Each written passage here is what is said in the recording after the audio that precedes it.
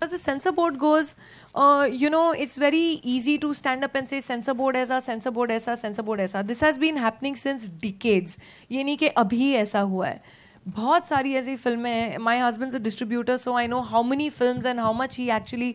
you know, fights against so-called so many various organizations who are protesting or taking objection over one one line or one word or everything. Everyone's become so sensitive.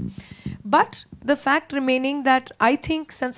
certain amount of guidelines that they have to follow, according to me, even their hands are tied. But uh, the plus point has been that they have also believed in this film and they also do believe that's the positive feedback that we've got that they believe in the message of the film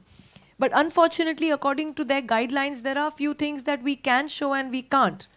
you know we as makers and, and as the part and me as part of the team do believe that until and unless you're you know only sugarcoating things and giving it to the public public will always remain indifferent attitude बदलेगा ही नहीं जब तक आप brutality नहीं दिखाओ कि this is what happens do you know so it's not only कि अरे नेबर की लड़की के साथ ये हो गया you realise that this is the dangerous world that is happening and just letting go and being indifferent about it is not going to change people's attitudes. So the fact is that they're also in a catch 22 situation. And uh, um I, uh, I mean, for example, I don't know whether how many of you all know that there was a, a court case just now in Chennai that happened that a girl eloped with her boyfriend. It's in the papers in Chennai. Y'all can all, you know, look for search for it. And uh, the uh, Chennai High Court called the censor board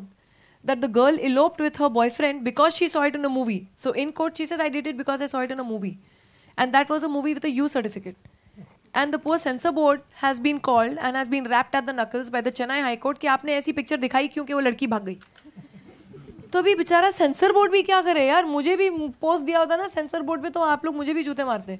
so I actually feel that you know until and unless attitude of everybody around changes and the liberty to think and the liberty to show the facts that happen so that it the message goes across does not happen every once hands are tied